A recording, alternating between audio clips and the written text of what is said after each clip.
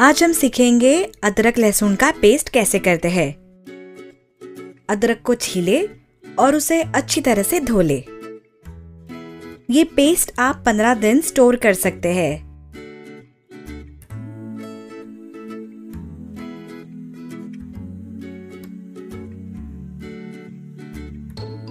फिर अदरक के छोटे छोटे टुकड़े करें।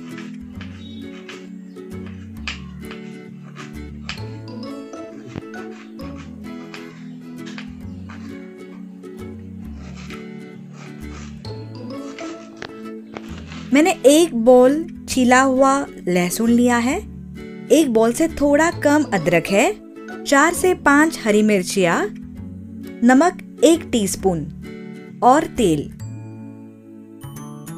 पहले हम लहसुन को पीस लेंगे। हमें इसमें पानी बिल्कुल नहीं डालना है, क्योंकि जब हम पानी डालते हैं तो हमें ये पेस्ट तुरंत इस्तेमाल करनी होती है। आपको स्टोर करना हो तो इसमें पानी बिल्कुल ना डालें।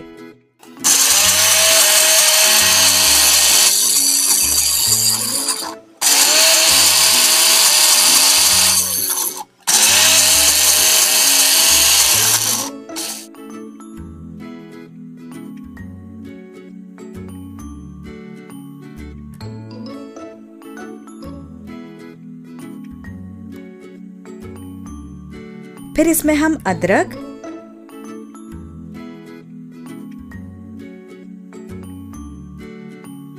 हरी मिर्ची नमक एक टीस्पून।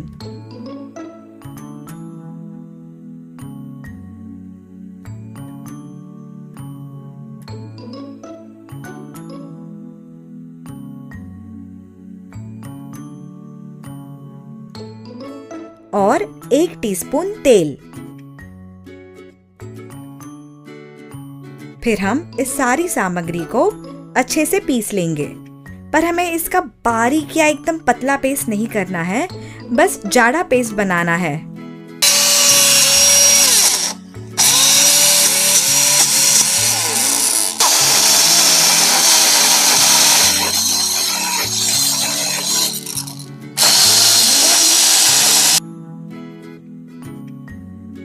जाड़ा पीसने के बाद आप इस पेस्ट को एक कंटेनर या कोई भी डिब्बे में निकाल सकते हैं और इसे फ्रिज में स्टोर कर सकते हैं ये कम से कम पंद्रह दिन अच्छे से रहेगा, पर याद रहे इसमें पानी बिल्कुल ना डालें।